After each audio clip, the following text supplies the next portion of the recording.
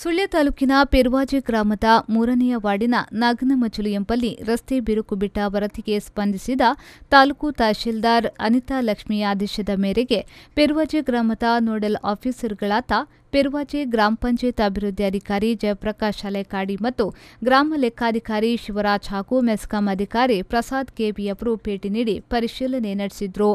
ಈ ಸಂದರ್ಭದಲ್ಲಿ ಗ್ರಾಮ ಪಂಚಾಯತ್ ಅಧ್ಯಕ್ಷರಾದ ಜಗನ್ನಾಥ್ ಪೂಜಾರಿ ಮತ್ತು ವಾರ್ಡಿನ ಸದಸ್ಯ ಸಚಿನ್ ರಾಜ್ ಶೆಟ್ಟಿಯವರು ಮಾತನಾಡಿ, ಕಾಮಗಾರಿಯನ್ನು ಗ್ರಾಮ ಪಂಚಾಯತ್ ಮುಖಾಂತರ ಮಾಡಿಸಲು ಅಧಿಕವಾದ ವೆಚ್ಚ ಇರುವುದರಿಂದ, ಸಾಧ್ಯವಾಗದೇ ಇರುವುದರಿಂದ ಜಿಲ್ಲಾಧಿಕಾರಿಯವರು ಸ್ಥಳ ಪರಿಶೀಲನೆ ಮಾಡಬೇಕೆಂದು ಈ ಮೂಲಕ ಮನವಿಯನ್ನ ಮಾಡಿದ್ರು.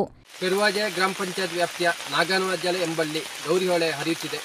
ಇದರ ನೀರಿನ ರಭಸಕ್ಕೆ ಈ ಭಾಗದಲ್ಲಿರುವಂತಹ ಹತ್ತು ಮನೆಗಳಿಗೆ ಹೋಗುವಂತಹ ಸಂಪರ್ಕಸ್ಥೆಯು ಪೂರ್ಣ ಕಡಿತ ಆಗುವ ಸಂಭವ ಇದೆ ಈ ಪರಿಸರದಲ್ಲಿ ಸುಮಾರು ಒಂದು ಕೋಟಿಯ ತಡೆಗೋಡೆ ನಿರ್ಮಿಸಿ ಶಾಶ್ವತ ಪರಿಹಾರವನ್ನು ಒದಗಿಸಿಕೊಡಲು ತಾಲೂಕು ಆಡಳಿತ ಮತ್ತು ಜಿಲ್ಲಾಡಳಿತ ಆಡಳಿತ ತುರ್ತು ಕ್ರಮ ಕೈಗೊಳ್ಳಿಕ್ಕೆ ಗ್ರಾಮ ಪಂಚಾಯತ್ ವತಿಯಿಂದ ನಾವು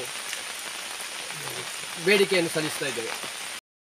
ಪೆರುವಜ ಗ್ರಾಮದ ನಾಗನಮಜ್ಜಲು ಎಂಬಲ್ಲಿ ಹೊಳೆಯ ಸವೆತದಿಂದ ರಸ್ತೆ ಮತ್ತು ಆತಂಕದ ಪರಿಸ್ಥಿತಿಯಲ್ಲಿ ಮೂಡಿದೆ. ಯಾಕೆಂತ ಹೇಳಿದರೆ ಹೊಳೆಯ ಕೊರತೆಯಿಂದ ರಸ್ತೆಯನ್ನು ಆಕ್ರಮಣ ಮಾಡ್ತಿದೆ. ಹೊಳೆ ಸಂಪರ್ಕ, ಹತ್ತು ಕುಟುಂಬಗಳ ಸಂಪರ್ಕ ಇದರಿಂದ ಕಡಿತ ಆಗುವ ಸಂಭವ ಇದೆ.